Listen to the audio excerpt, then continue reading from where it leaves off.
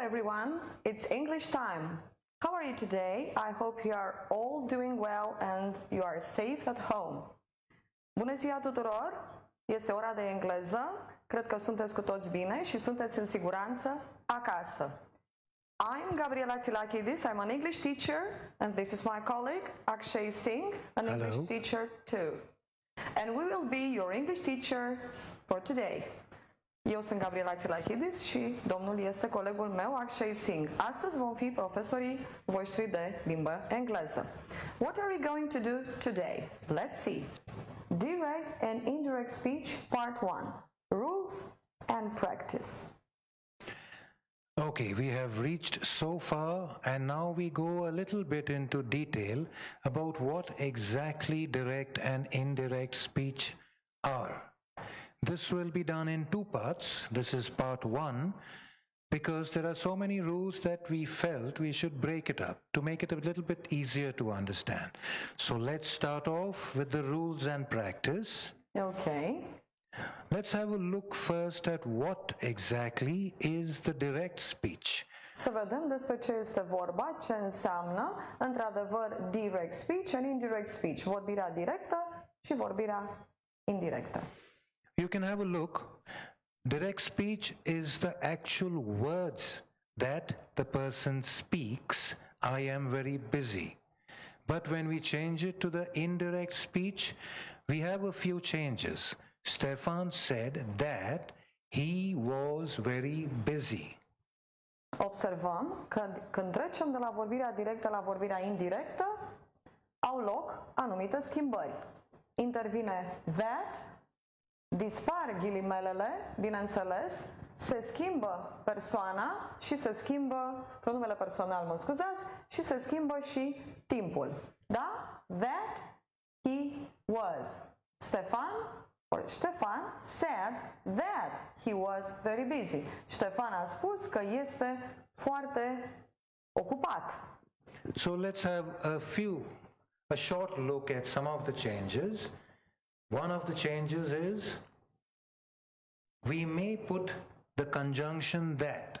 I have written it may be added because indirect speech can also be written or reported as Stefan said he was very busy.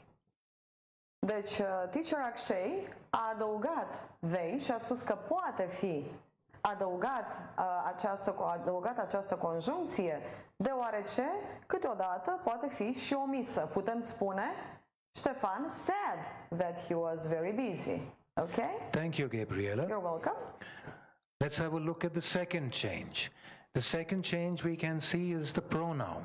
I changes into he in the direct indirect speech. So there is a change in the pronoun also. Ok. Deci există o diferență și o schimbare de la vorbirea directă la vorbirea indirectă în ceea ce privește pronumele personal I, persoana întâi singular, în pronumele personal he, el, persoana a treia singular. The pronoun changes. And the third change that we can see in the sentence will be in the tense. This is the change. I am very busy. The simple present tense will change into the simple past tense, and indirect becomes Stefan said that he was very busy. Ok.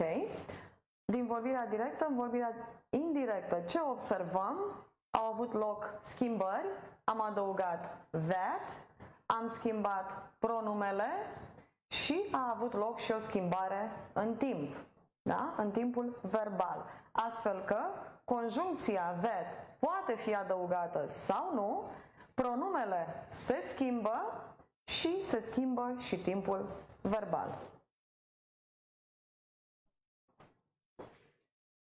Those are some of the basic rules. So we have the pronouns change, the tense changes, and the conjunction, Conjunction. that may be added. But there are many other rules also to this. So let's have a closer look at rules. Să ne uităm mai de aproape în ceea ce privește regulile. Am observat trei schimbări până acum. Prima, putem adăuga that sau nu, nu este obligatoriu, depinde de context. trebuie să schimbăm pronumele, da? Și trebuie să schimbăm și timpul verbal. First, let's have a look at punctuation in the direct speech. The words that are actually spoken should be enclosed in quotes and begin with a capital letter. What does this mean? These are the words that Simona said. You are right. So I put them in quotes. Try to remember this as 6699 and I start my sentence, my reported sentence with a capital letter. Ok. Deci, vorbim despre punctuație, de reguli de punctuație în vorbirea directă. The words that are actually spoken, cuvintele care de fapt sunt spuse, trebuie să fie, deci cuvintele direct pe care le spune cineva, trebuie să fie puse între ghilimele, quotation marks or quotes, and begin with a capital letter și trebuie să înceapă cu literă mare, cu literă de tipar, da? De exemplu, cum a spus și teacher Akshay, Simona said, căuma, punem virgulă, deschidem ghilimelele și vă cere să rețineți că au forma uh, numărului 66 pentru partea de sus și 99 tot sus, da? În limba română le avem jos și sus, da? Acest lucru să rețineți. You are right. Și la începutul uh, cuvântului, pronumelui personal, este litera mare. Thank you, Gabriela. You're welcome. Gabriela, I wanted to ask you something. Yes. How is this different from Romanian?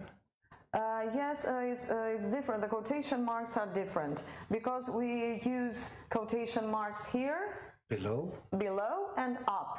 În limba română folosim jos și sus și folosim și linie de dialog. Mulțumesc, Da? mulțumesc. You're welcome.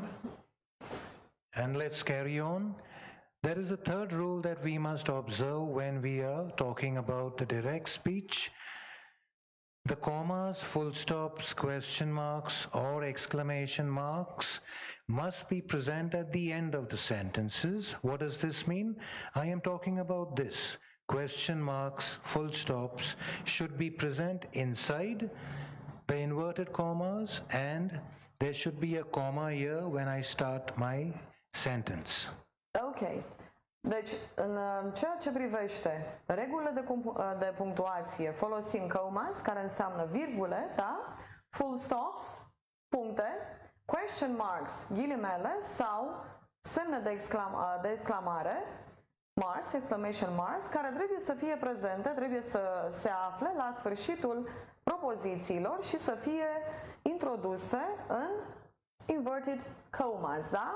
Adică după virgulă, da, trebuie să deschidem ghilimelele ambele sus, 66.99, da, nu uitați, 66.99 și dacă este întrebare, nu cum este aici uh, propoziția afirmativă, you are right, da, trebuie să punem exclamation mark, trebuie să punem uh, semn de exclamare și să închidem ghilimelele, da? Ok, let's move on. And lastly, there might be a problem when the speech is broken up. When I mean broken up, I mean the reporting verb comes in the middle. I wish you could, she said, but I must go alone. When it is broken up like this, there is a slight change in the rule. We have a comma after the first part, and in the second part, there is no capital letter.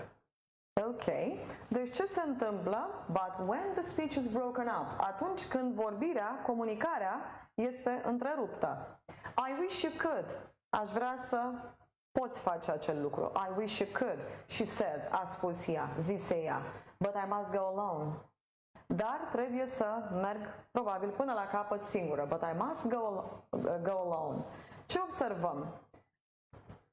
Virgula este introdusă între ghilimele, vorbirea este întreruptă pentru că și said, ce a spus ea, este între cele două propoziții și se continuă comunicarea, dar de, în acest moment nu mai folosim litera mare și litera mică pentru că se, conti- se continuă comunicarea. Da? Propoziția. The commas is used to separate the two parts of the speech and there is no capital letter to begin the second sentence. Virgula este folosită pentru a separa două părți de vorbire, the two parts of the speech, and there is no capital letter și nu trebuie să scriem cu literă mare la începutul celei de-a doua propoziții. And now let's try our hand at some practice.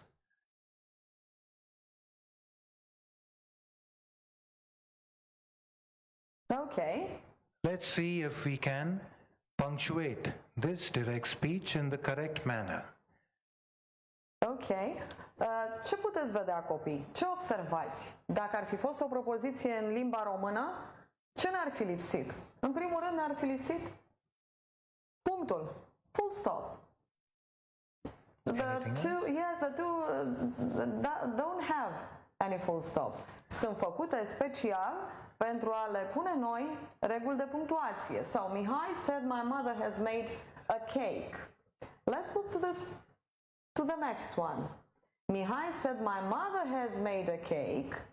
And here in the second și la al doilea exemplu, ce puteți să vedeți? Am pus vi- uh, virgula după said, am deschis 66, 99, da? Am deschis ghilimelele. Propoziția începe cu literă mare de tipar și bineînțeles că au loc anumite schimbări. My mother has made a cake, da? Ce se întâmplă? Deci sunt puse între ghilimele, da? Și avem și um, punctulețul la sfârșit, full stop, da? Bun. Care sunt uh, schimbările? Virgulă, ghilimele, litera mare la, început de cu, la începutul propoziției și punctul care încheie propoziția. Very simple. Very simple if you follow the rules. Uh-huh. Let's have a look at this one. The man said, Let me carry your bags. What is the man saying? Let me carry your bags. How will we change it? Ok. Let's have a look at this. Let me carry your bags, comma. The man said, comma, open inverted comma, 66, L capital, full stop, and close inverted, 99. Very good. Bun, ce observăm aici? În al doilea exemplu. Cum a spus și Akshay, este foarte ușor să, să faci ace- acest exercițiu dacă urmezi regulile. The man said, let me carry your bags. Mi- Mi-a spus domnul, persoana, bărbatul, mi-a spus să, să, să-i dau voie să-i uh, care bagajele. The man said, let me carry your bags. So we've got comma, avem virgulă, deschidem 66, da? 99, ghilimelele.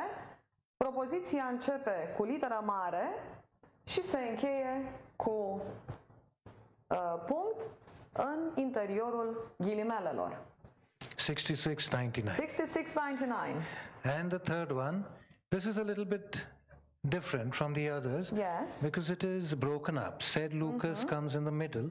I wish I could help you, said Lucas, but I'm going to Bucharest. Good. How can we change this? Let's see. Quite simple, actually.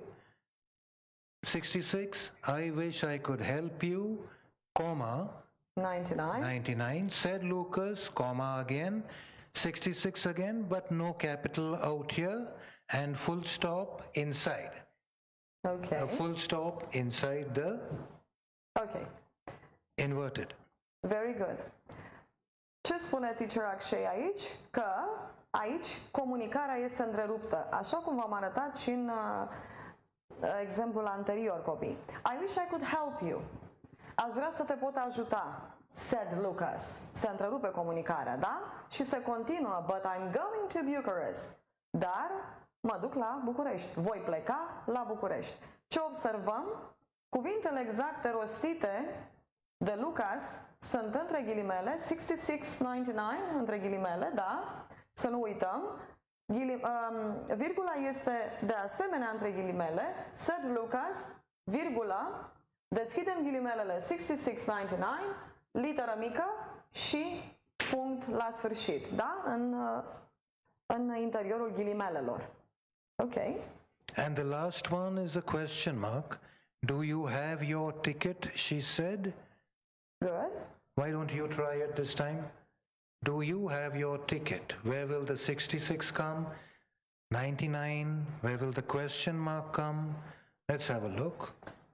Deci teacher Akshay uh, vă spune, vă cere să încercați voi exemplul uh, de la numărul 4, unde trebuie să puneți, să începeți să puneți ghilimelele, unde trebuie să apară virgula, unde trebuie să apară punctul și unde trebuie să se închidă ghilimelele. Let's see now. So it's quite simple. 66. Do you have your ticket? Question mark. Close inverted 99. She said. Simple. Okay, very simple, easy. Do you have your ticket? She said. Ai biletul? Spuse ea sau zise ea? Fiind cuvintele exacte ale acestei persoane, da, și nu mesajul, nu sensul cuvintelor ei, deschidem ghilimelele, avem uh, semn de uh, întrebare și închidem ghilimelele. La sfârșit, după ce spunem a zis ea sau zise ea, punem punct. Da? Și încheiem comunicarea. Okay, kids, thank you for watching and I hope you enjoyed our presentation.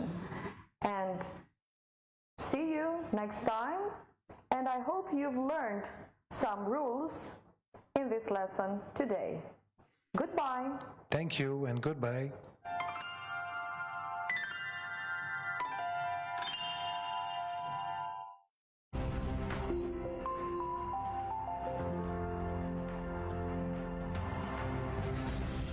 Tu mi-ai salvat viața. Eu voi face totul pentru a o salva pe a ta și pe a celor dragi nouă. Oricât de greu ne-a fost sau ne va mai fi, nu vom irosi efortul tuturor. Grija pe care ne-o purtăm va învinge virusul. Respectăm regulile, știind că doar noi facem să conteze viețile salvate. Doar noi aducem normalitatea mai aproape, în fiecare zi, ca o echipă. O echipă pentru viață. Campanie de informare susținută de Guvernul României.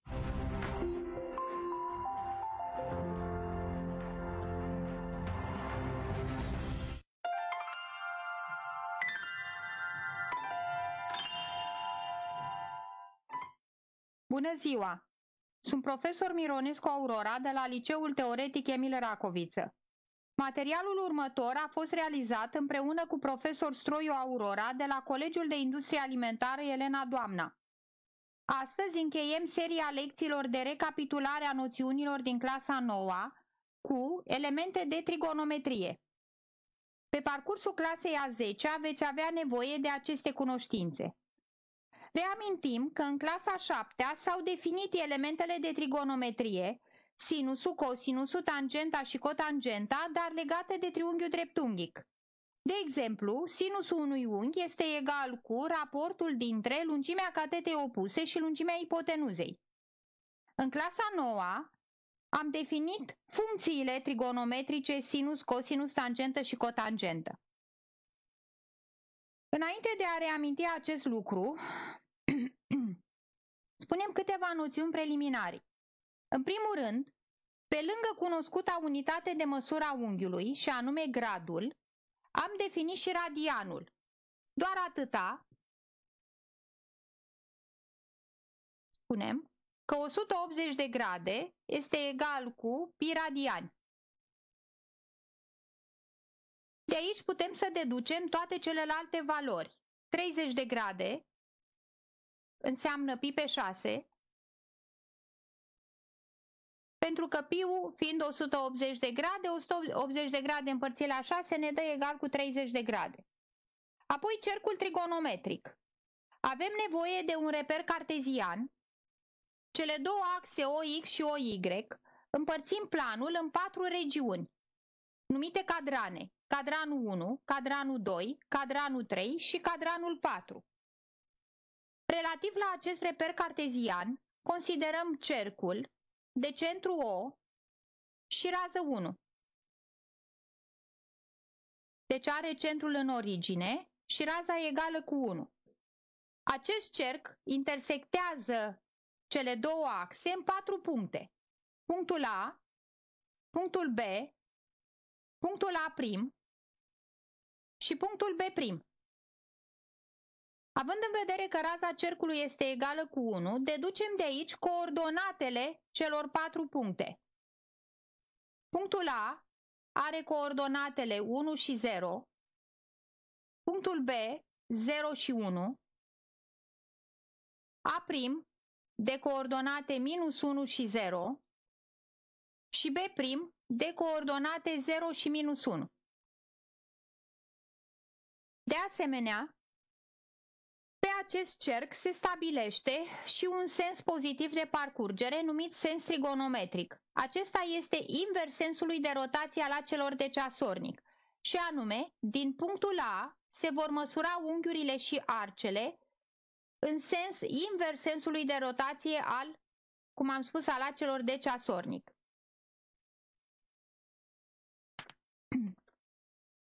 Acum, putem să spunem că pentru orice număr real t,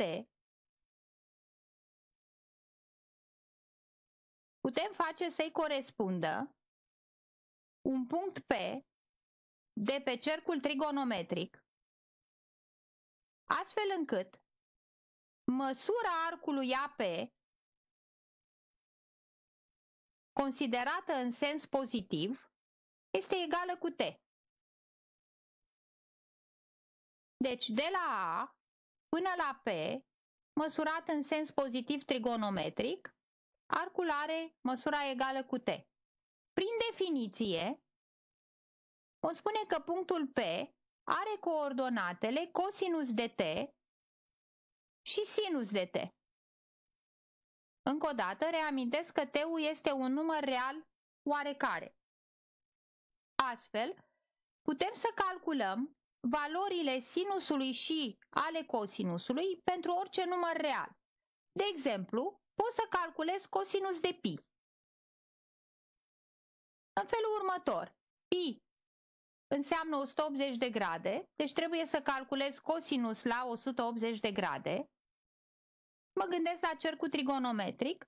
Din A măsor 180 de grade, ajung în punctul A', Cosinusul este prima coordonată a punctului, adică minus 1. Asemănător, sinus de 2pi. 2pi înseamnă 2 ori 180 de grade, adică 360 de grade, deci voi avea sinus de 360 de grade. 360 de grade măsurat din punctul A înseamnă întreaga măsură a cercului, ajung tot în punctul A. În punctul A, a doua coordonată este 0. Deci sinus de 360 de grade este egal cu 0. În continuare, pe scurt, câteva proprietăți ale funcțiilor sinus și cosinus, și anume, în primul rând, funcțiile sinus și cosinus sunt funcții mărginite, adică iau valori de la minus 1 la 1, Sinus de x, cea mai mică valoare e minus 1, cea mai mare e 1, în mod asemănător cosinusul, pentru orice număr real x. Funcția sinus este o funcție impară, iar funcția cosinus este funcție pară. Ne aducem aminte? Acest lucru înseamnă că sinus de minus x este egal cu minus sinus de x, cosinus de minus x este egal cu cosinus de x, oricare ar fi x real. De asemenea, sunt funcții periodice având perioada principală 2π. În general, vom spune că sinus de x plus 2 pi egal cu sinus de x și cosinus de x plus 2 pi egal cu cosinus de x, unde x este un număr real oarecare, iar k-ul este un număr întreg. Foarte importantă este formula fundamentală a trigonometriei, și anume Sinus pătrat de x plus cosinus pătrat de x este egal cu 1 pentru orice x număr real. Semnul pentru funcțiile sinus și cosinus nu trebuie să-l țineți minte pe de rost, pentru că acest semn se poate deduce din cercul trigonometric. De asemenea, există formule de trecere de la sinus la cosinus și invers, sinus de pi pe 2 minus x sau sinus de 90 de grade minus x egal cu cosinus de x și cea corespunzătoare cosinus de 90 de grade minus x egal cu sinus de x pentru orice x număr real.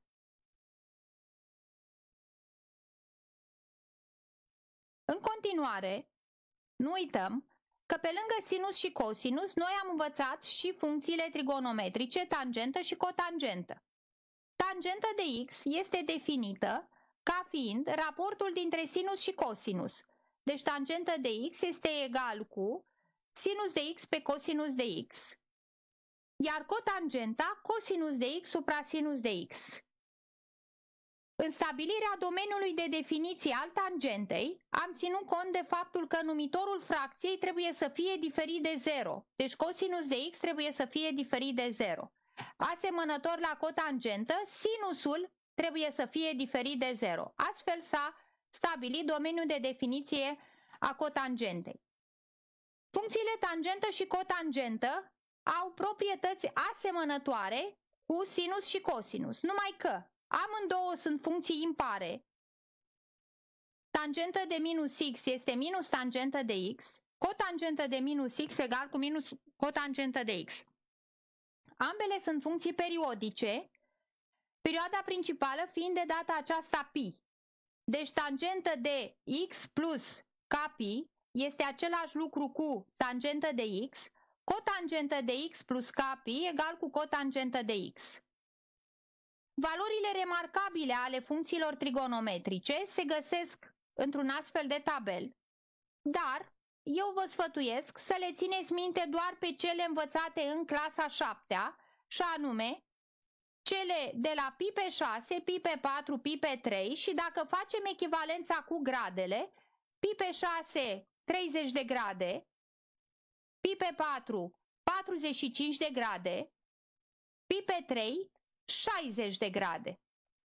Deci le țineți minte pe acestea, pentru că celelalte le puteți deduce, mă repet, utilizând cercul trigonometric. Foarte importante sunt formulele pentru sume și diferențe de unghiuri. Sinus de A plus B este egal cu sinus de A cosinus de B plus sinus de B cosinus de A.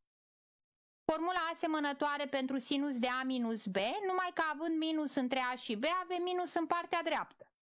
La cosinus, cosinus de A plus B este egal cu cosinus de A cosinus de B minus sinus de A sinus de B. Observați că aici se schimbă semnele. Dacă avem cosinus de A minus B, este egal cu cosinus de A cosinus de B plus sinus de A sinus de B. Cu ajutorul acestor formule, le putem deduce pe cele pentru dublu unui unghi. Sinus de 2x e 2 sinus de x cosinus de x.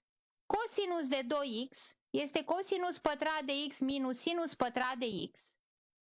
Unde, dacă folosesc formula fundamentală, găsesc cosinus de 2x doar în funcție de sinus de x sau doar în funcție de cosinus de x. Depinde de ce anume am nevoie în rezolvarea unui exercițiu. Mai sunt și alte formule trigonometrice, dar cele pe care le-am reamintit sunt cele mai folosite și în același timp cele care sunt date cel mai mult la examenele de bacalaureat. Primul exercițiu propus este un exercițiu din testele de antrenament de anul acesta și anume, arătați că sinus de x pe lângă 3 sinus de x minus cosinus de x plus cosinus de x pe lângă sinus de x plus 3 cosinus de x egal cu 3, oricare ar fi x număr real. Voi face calculul în membru stâng și va trebui să-mi dea egal cu 3. Desfac parantezele și voi avea 3 sinus pătrat de x, sinus de x ori sinus de x îmi dă sinus pătrat de x, minus sinus de x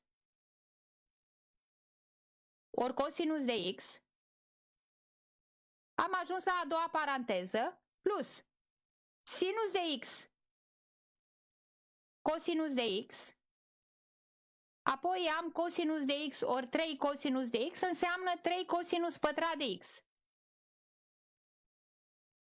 Egal cu, observ că doi termeni se reduc, Între ceilalți doi termeni care mi-au rămas, 3 sinus pătrat de x plus 3 cosinus pătrat de x, dau factor comun pe 3, 3 pe lângă sinus pătrat de x plus cosinus pătrat de x. Dar, paranteza, mă duce cu gândul la formula fundamentală a trigonometriei, sinus pătrat de x plus cosinus pătrat de x este egal cu 1, deci, pentru orice x real, rămân cu 3 ori 1, care îmi dă egal cu 3. Și am demonstrat egalitatea. Nu este un exercițiu foarte complicat, trebuie doar să știu să desfac parantezele și să știu formula fundamentală a trigonometriei. Al doilea exercițiu, de data aceasta, îmi spune să îl aflu pe x din intervalul 0 pi pe 2 și aici mă gândesc că acest interval 0 pi pe 2, făcând corespondența cu cercul trigonometric înseamnă primul cadran, deci să-l aflu pe x știind că sinus de x cosinus de pi minus x minus sinus de pi minus x ori cosinus de x egal cu minus 1. Păi, în primul rând, aduc la o formă mai simplă cosinus de pi minus x și sinus de pi minus x. Aici există două formule, așa numitele formule de reducere la, reducere la primul cadran, și anume cosinus de pi minus x este egal cu minus cosinus de x, iar sinus de pi minus x este egal cu sinus de x pentru orice x număr real. Dacă le știți, este foarte bine, calculul vă este uh, mai simplu. Dar, dacă nu le știți sau dacă le-ați uitat, eu știu, din cauza emoțiilor la un examen, le puteți deduce. Cosinus de pi minus x, de exemplu, aplic formula cosinus de a minus b și este egal cu cosinus de a, adică am cosinus de pi ori cosinus de x plus sinus de pi ori sinus de x. Sinus de pi este egal cu 0, cosinus de pi este egal cu minus 1, al doilea termen este 0 și atunci rămân cu minus cosinus de x. Exact de ce aveam nevoie. Înlocuiesc în relația dată de problemă și o să am sinus de x înmulțit cu minus cosinus de x, asta înseamnă minus sinus de x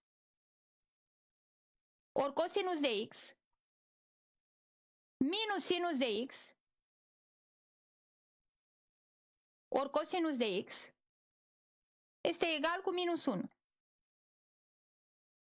Minus 2 sinus de x cosinus de x, observăm că avem doi termeni identici, este egal cu minus 1.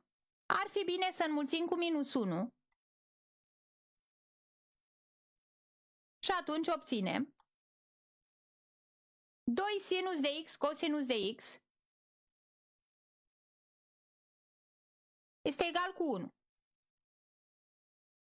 2 sinus de x cosinus de x reprezintă sinus de 2x, formulă pe care trebuie să o țineți minte, echivalent deci avem sinus de 2x este egal cu 1. Cum x-ul aparține intervalului 0 pi pe 2, asta înseamnă că 2x se va găsi în intervalul 0 pi, iar în intervalul 0 pi sinusul este 1 doar la 90 de grade. Deci asta înseamnă că 2x este egal cu pi pe 2, echivalentul în radian a măsurii de 90 de grade, echivalent x egal cu pi pe 4. Valoare care, verific, se află în intervalul din enunțul exercițiului, deci aparține intervalului 0 pi pe 2, aceasta înseamnă că x egal cu pi pe 4 este o soluție care convine exercițiului.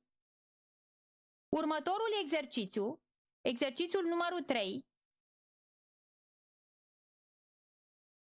este un exercițiu, un tip de exercițiu des întâlnit la examene. Și anume, știind că x-ul aparține lui pi pe 2pi, intervalului deschis pi pe 2pi, și iarăși mă gândesc la cercul trigonometric înseamnă cadranul 2, și cosinus de x egal cu minus 3 pe 5, să se calculeze tangentă de x. Tangentă de x, ne aducem aminte, este egal cu sinus de x supra cosinus de x. Aici eu știu cosinusul și trebuie să calculez sinusul.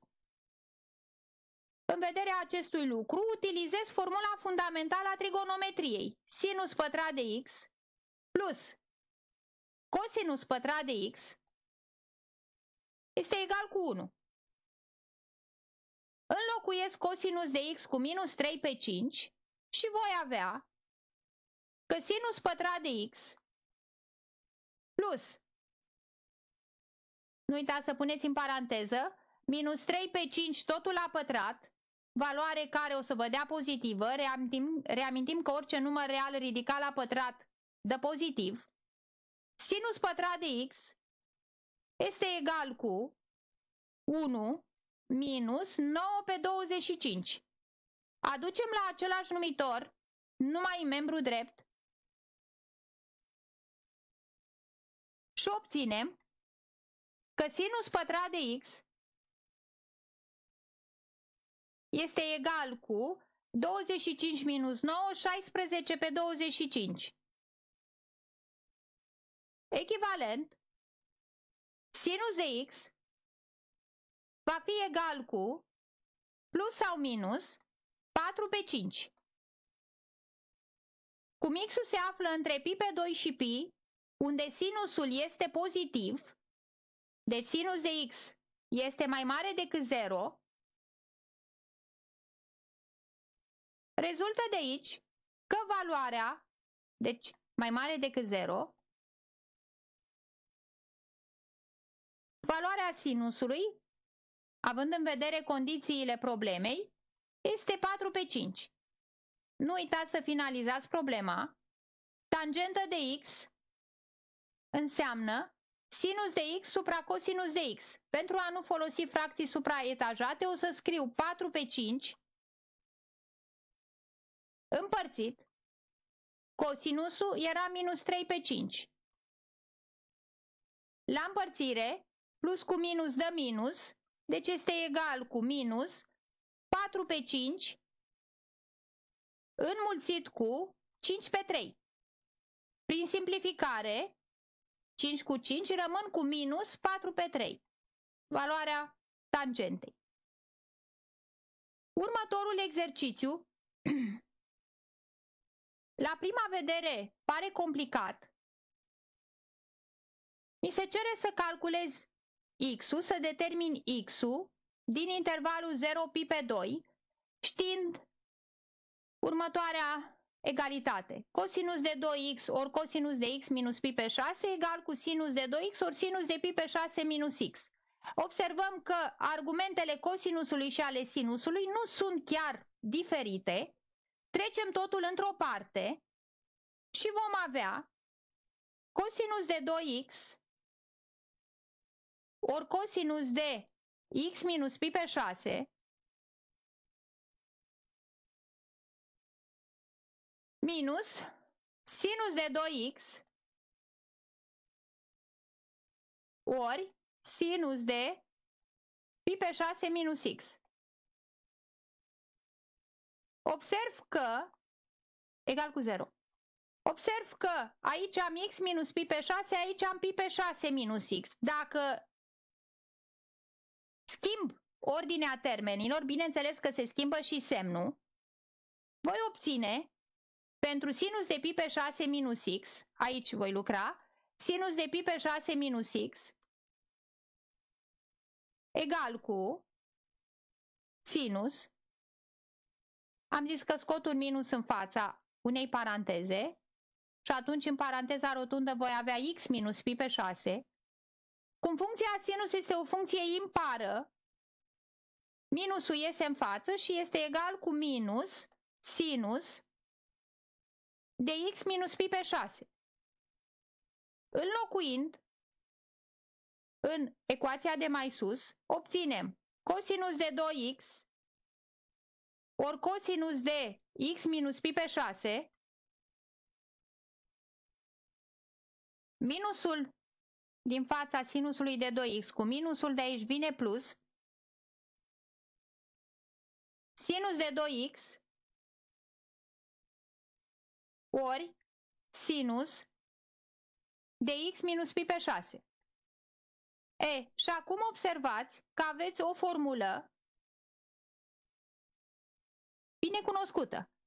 Cosinus de A, cosinus de B, sinus de A, sinus de B.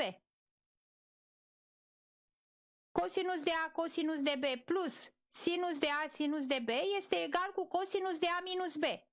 Deci voi avea cosinus de 2x minus x plus pi pe 6, aveți grijă la schimbarea semnului, este egal cu 0.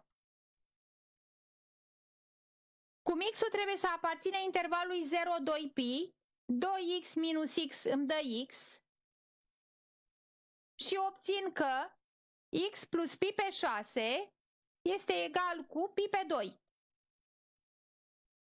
Cosinusul este 0 doar la pi pe 2.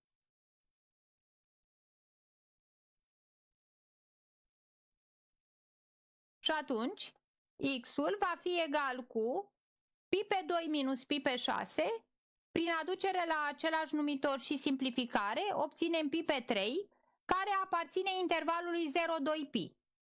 Având în vedere timpul limitat pentru această lecție, doar trecem în revistă celelalte exerciții, poate aveți timp să le scrieți pe caiete, să se calculeze cosinus de pi pe 12 și sinus de 75.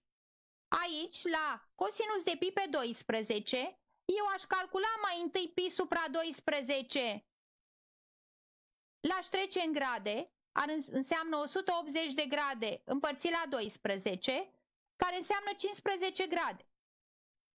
Pentru a calcula cosinusul la 15 grade, îl scriem pe 15 ca o diferență, de exemplu 45 minus 30.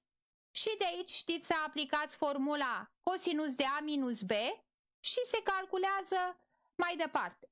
Pentru sinus de 75, la fel, numai că pe 75 puteți să-l scrieți convenabil ca o sumă sinus de 45 de grade plus 30 de grade.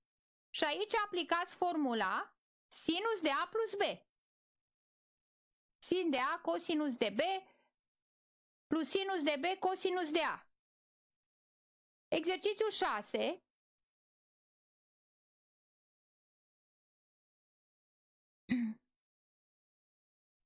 Determinați x aparținând 0 pi pe 2 astfel încât tangentă de x plus 3 cotangentă de x egal cu 2 radical din 3. În primul rând observăm că pe intervalul 0 pi pe 2 și tangenta și cotangenta sunt bine definite, numitorii lor la tangentă cosinus și la cotangentă sinus fiind diferiți de 0. Ne aducem aminte că tangenta este sinus de x pe cosinus de x, iar cotangenta e cosinus supra sinus. Cosinus de x supra sinus de x și atunci pot să spun cotangentă de x egal cu 1 pe tangentă de x. Ecuația devine tangentă de x plus 3 ori 1 pe tangentă de x este egal cu 2 radical din 3. În acest moment folosim o substituție și anume notăm tangentă de x cu t. Ecuația devine t plus 3 supra t este egal cu 2 radical din 3. Prin aducere la același numitor și trecere în membru stâng, se obține o ecuație de gradul 2 care se rezolvă cu ajutorul formulelor de la delta și de la rădăcini, se determină t-ul și apoi nu uitați că trebuie să vă întoarceți la substituția tangentă de x egal cu t. De asemenea, un exercițiu pe care puteți să-l terminați singuri. Exercițiul 7 Sinus de x plus cosinus de x egal cu 1 pe 5, calculați sinus de 2x. La acest exercițiu este bine să ridicați la pătrat această egalitate și avem sinus pătrat de x plus, nu uitați formula 2 sinus de x cosinus de x plus cosinus pătrat de x egal cu 1 supra 25. De aici este simplu. 2 sinus de x cosinus de x este sinus de 2x, exact ce ne cere problema, iar sinus pătrat de x plus cosinus pătrat de x este egal cu 1 din formula fundamentală. Și atunci avem 1 plus sinus de 2x este egal cu 1 supra 25. Prin scădere se obține că sinus de 2x este egal cu 1 supra 25 minus 1, aducându-se la același numitor, obținem că sinus de 2x este egal cu 1 minus 25 minus 24 supra 25. Exercițiul 8 ne cere să calculăm tangentă de 2x știind că tangentă de x este egal cu 6. Tangentă de 2x, ne folosim de definiția tangentei. Tangentă de 2x este egal cu sinus de 2x supra cosinus de 2x. Iar în continuare, folosim formulele pentru sinus de 2x și cosinus de 2x. Este egal cu 2 sinus de x cosinus de x la sinus de 2x și cosinus pătrat de x minus sinus pătrat de x. Din egalitatea dată de problemă, tangentă de x egal cu 6, obținem că sinus de x supra cosinus de x este egal cu 6. De unde putem să scoatem sinusul, sinus de x este egal cu 6 cosinus de x, îl înlocuim, deci sinusul îl înlocuim în raportul de mai sus, făcând calculul, veți vedea la un moment dat că ceea ce nu vă trebuie, cosinus de x, se simplifică și în final veți calcula tangentă de 2x. Eu zic că ați avut timp să scrieți aceste exerciții, puteți să le rezolvați singuri, toate sunt luate din testele de antrenament și din uh, variantele de bacalaureat. Este bine să vă aduceți aminte aceste formule. Următoarea lecție va fi uh, de clasa 10 -a, despre puteri și radicali. Vă doresc o zi bună. La revedere!